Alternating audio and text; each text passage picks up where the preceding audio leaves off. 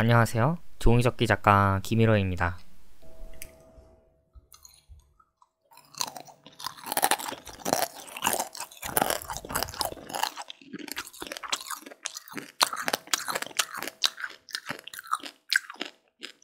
아 이거 왜 먹고 있냐고요?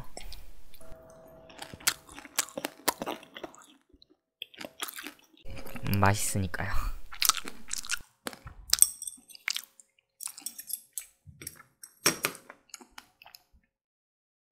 오늘 접을 작품은 7개입니다. 실제로 이름처럼 7월이 제철이라고 하네요. 이렇게 생겼는데 정말 신기하게 생겼습니다. 수컷은 직개발이 엄청 크고 배딱지가 좁습니다. 반면 암컷은 이렇게 집게가 작고 배딱지가 넓죠. 이번에 접어볼 건 암컷입니다. 뭔가를 접으려면 구체적인 이미지가 있는 편이 좋습니다. 실제로 있는 거면 사진을 보고 없는 거면 그림을 그려보시면 좋습니다. 가능하다면 직접 두 눈으로 보는 게 입체적으로 관찰하기 좋고 이렇게 몸으로 직접 느끼면 더 좋죠. 물론 못 먹는 건 먹으면 안 됩니다. 선내는 과정은 지루하니까 빠르게 넘겨보겠습니다.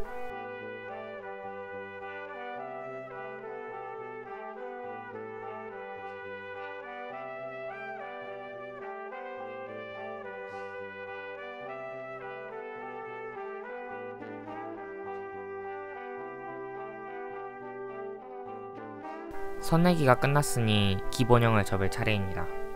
전부터 개 종류가 정말 접고 싶었습니다. 제가 어렸을 때부터 개를 엄청 좋아해서 늘 가족들이 개만 보면 우리 김희로가 개 엄청 좋아하지 라고 말합니다.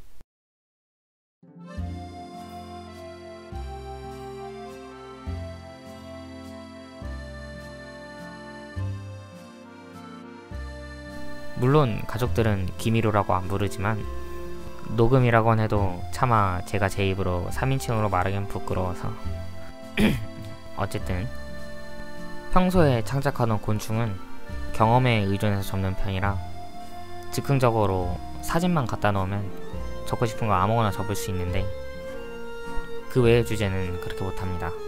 특히나 개는 다리 개수가 곤충이랑 4개씩이나 차이 납니다.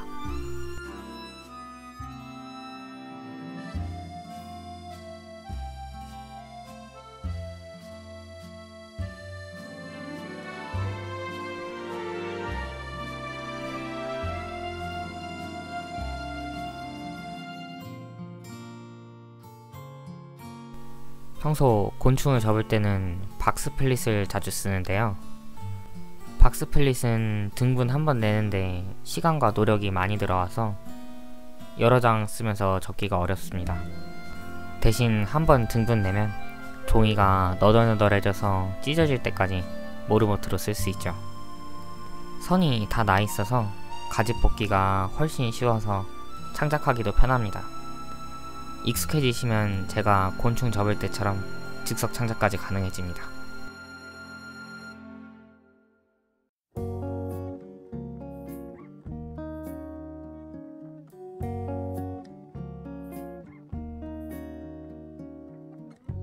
최근엔 22.5도에 빠져서 박스플릿은 잘 안하고 있는데요. 등분 내는 과정이 없어서 스트레스가 좀 덜합니다.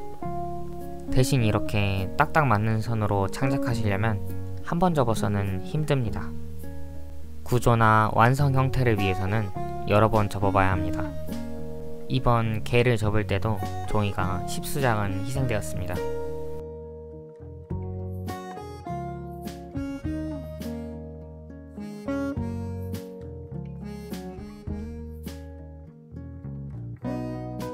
예전에 잘 모를 때는 다른 작가님들 작품 보고 무지한 저는 그저 제둥층들이라 생각했었는데 이제 와서 보면 작가님들의 노력이 담겨 있었던 거죠.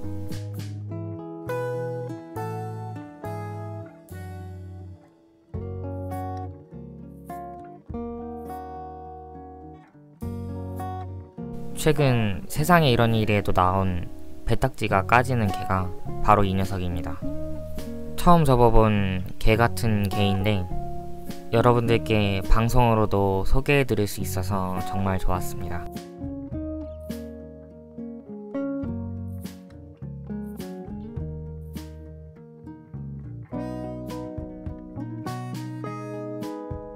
방송 때 도움을 주셨던 맹영규 작가님을 전에 한번 만나뵌 적이 있습니다. 제가 곤충을 적게 된 계기가 되어주신 분입니다. 같이 작품 늘어놓고 사진도 찍으면서 이런저런 얘기를 했는데요. 사진으로만 보던 작품들을 실제로 만져보니 디테일이 장난 아니더라고요. 이렇게 만나 뵙기 전까진 몰랐었는데 정말 재밌는 분이셨습니다. 작가님께서 나중에 같이 영상 찍으면 좋을 것 같다고 하셔서 기회가 되면 언젠가 같이 영상도 찍게 될 것 같습니다.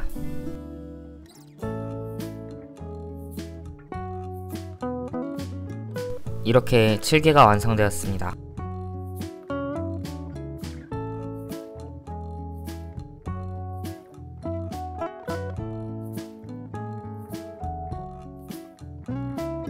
그럼 저는 다음에 또 멋진 작품으로 찾아뵙겠습니다. 재밌게 봐주셨다면 구독, 좋아요, 알림 설정까지 부탁드립니다.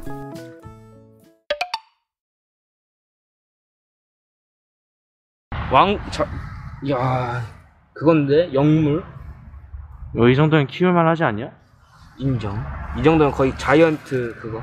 제주도 가서 달팽이 잡고 싶다. 와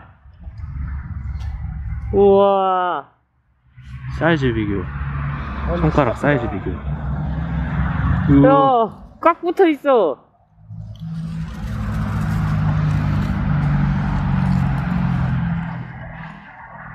이만해.